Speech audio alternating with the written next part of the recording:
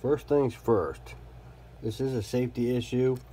You do it at your own risk. This video is just for educational purposes. But the uh, fusible link in a Kobalt 24 volt 2 amp hour battery is right there. And when it burns out, and symptoms of a burnout fusible link is you'll have power. You have you'll have a charge at each end of the battery. At this contact and this contact uh, but you will have nothing when measured from the pins. And the uh, fuel gauge will not work. The fuel gauge shows nothing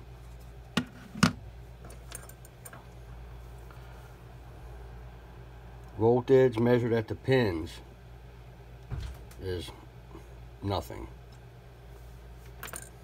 To disassemble it, there are four T10 security Torx screws. They are there, and there, and there. I already took these out. And now, if I measure for voltage at the positive and negative ends of the battery, 24 volts. Now, if I check for continuity,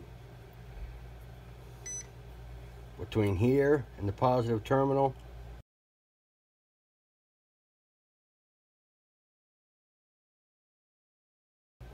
I get nothing.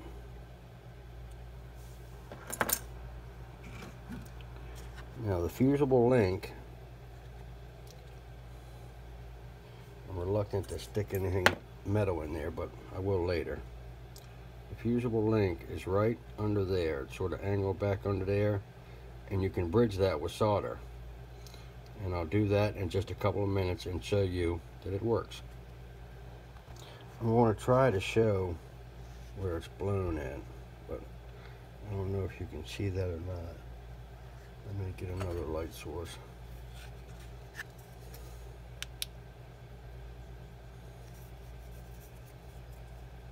Okay, yeah, I think you can see that where it's burnt at. It looks like just a hole in the middle of that copper.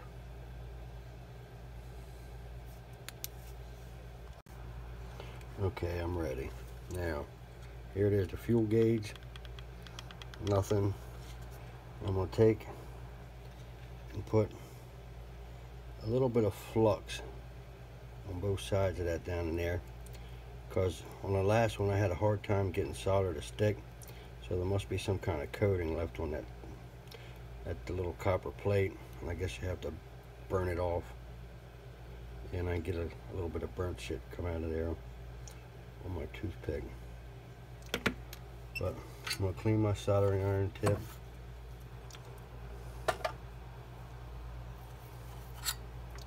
Here's one of them bevel jobs. It's a uh, T12 BC2. Want to get a little solder on it.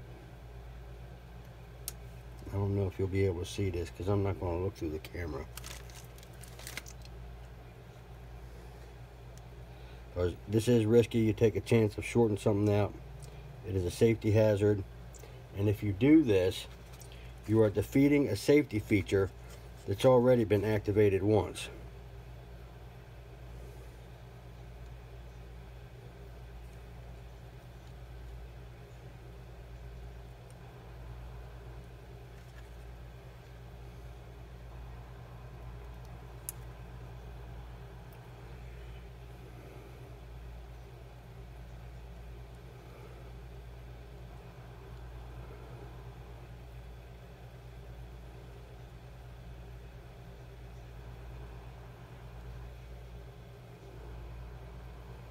I'm having a hard time sticking to the edges, but I'm having a hard time getting it to bridge across.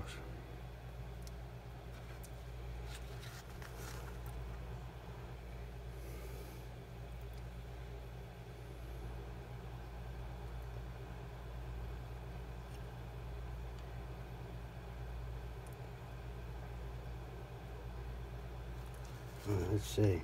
Ooh, we got something. Look at that.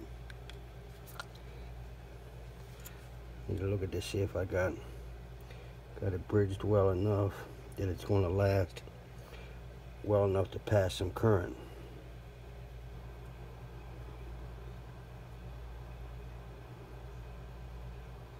And I don't have any I don't have any Kobalt tools to test it with. But I do like these batteries. I think they're really well built. This is a really thick case. It's got air ventilation. And I really like this coating on the circuit board. It's like really thick and rubbery. I think that'll help a lot with uh, if you get this thing stuck out in the rain somewhere. Uh, but that's it. Oh, let me, I'll put this back on and show voltage at the terminals.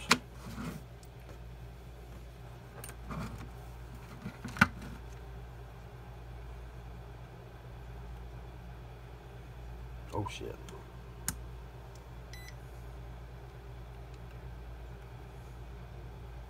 Twenty-four point seven six volts. That's it.